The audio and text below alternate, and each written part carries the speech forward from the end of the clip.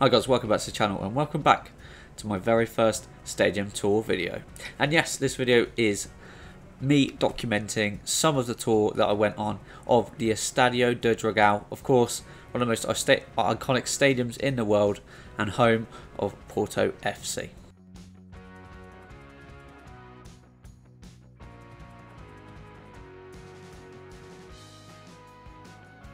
You may recognise this as the final of the iconic Champions League final. It was the home of the 2021 final between Chelsea and Manchester City. And of course, Chelsea came up on top, underdogs, you could say, in that final against Manchester City. And today, this is the video of me when I went over there last month to do a tour. Unfortunately, I couldn't do filming of the entirety of the tour as you're not allowed to film while the tour guide is talking but I took as much video as possible and I'll explain and talk through the process. What a beautiful stadium and I can't wait to show you guys around. But yeah, let's get straight into the tour shall we.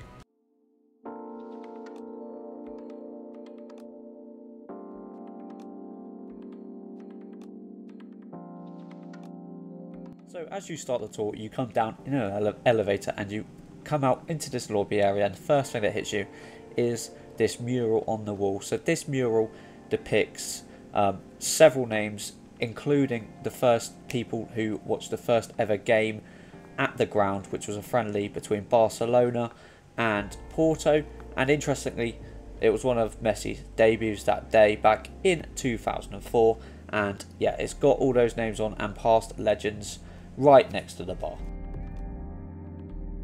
Yeah, I just find it a really nice little touch when teams do that. It's not only honouring the players themselves, the staff, but also one of the most important factors of the club, uh, the fans. So yeah, it was a really nice touch and glad to see. So this bit of the wall in particular I've zoomed in on here shows the squad from that first ever game and as you can see Jose Mourinho was the manager there, won the Champions League with this squad. You've got legends such as Deco also in there. So star-studded lineup. You can see how well they did back then.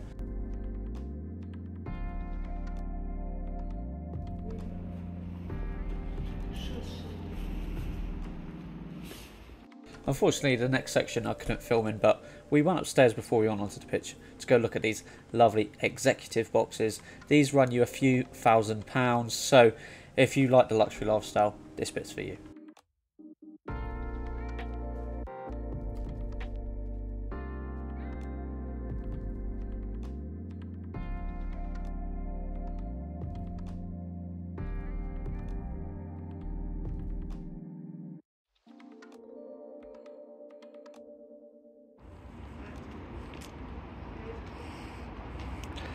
Is definitely the biggest ground I've ever been to. Not quite the Emirates, but you know, it would do. Nice padded seats down there. That's where the president sits with his entourage. Family of the footballers sit down there. Pretty snazzy stuff. Pretty sick. It's my stadium on FIFA for a reason. Mm -hmm. It's pretty big, pretty gnarly. And yeah, that was definitely the right word, Seb. It is gnarly, but yeah, absolutely stunning views from up the top here. Um, absolutely beautiful stuff. I would really recommend checking the stadium out. It's such a unique stadium, and it's kind of built into like a slope. So as you can see on that side, it's tall, um, so it's sticking out from the ground. But to your left, it's flat, so you can walk straight up to it. It's really unusual, um, but yeah, really beautiful ground. And the seats here, beautiful padded seats and the view is unbelievable.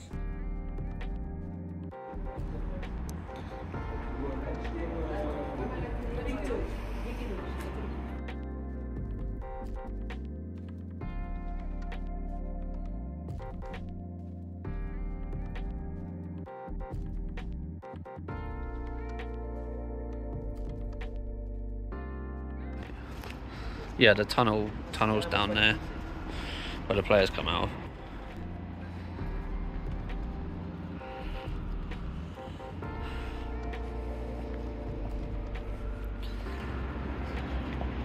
Players benches down there, away and down that way.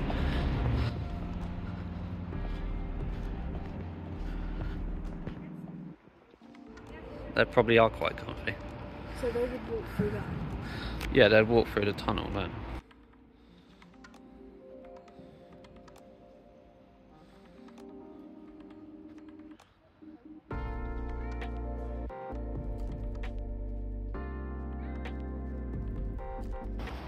Just up there a minute ago. Just up there. Now we're not.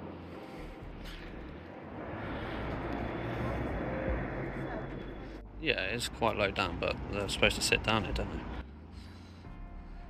Please sit down here. Jose Mourinho would have sat down here at one point in time. Deco. Now me. And I'm the goat, really, so that's all that matters.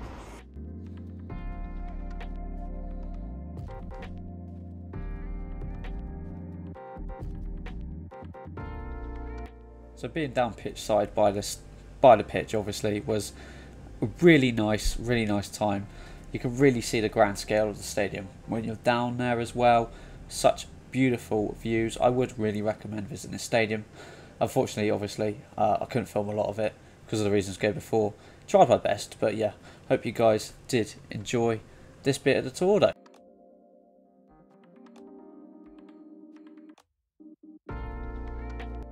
So yeah, the stadium itself holds 50,000 people, just over 50,033, and yeah, um, the stadium itself was built all the way back in 2003. A lot of Portuguese teams were having a renaissance with stadium building around that time. Uh, Braga was built in 2004, and so was Benfica's ground. But yeah, is this one the best stadium in the country? Uh, check out the channel for my next tour, which is going to be Braga Stadium.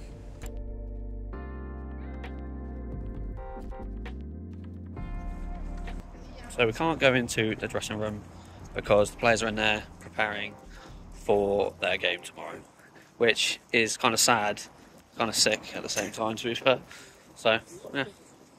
Yep, so there you guys, you go guys. That was the tour of the famous Estadio de Dragao. Apologies for not being able to film the whole thing, as I couldn't film a lot of it, especially when the tour guide was going around, but I tried to do as much as possible. Let me know in the comments, guys, if you enjoyed this video. Up next, we have a tour of one of the most iconic stadiums in the world. That is Braga Stadium. Really good one. I've got a lot more filming done in that one, so hopefully that'll be a lot longer video. And I think I got better after doing this one as well, so I'm a lot more confident, a lot more confident in that one as well. So yeah, and also apologies if you. I'll try to edit most of it out, but I'm asthmatic and walking around there was making me very wheezy. But yeah, thank you guys for checking out the video. Hit a sub on the channel if you want to see some more stadium tours, and hopefully I'll see you in the next one. TG Fan, peace out.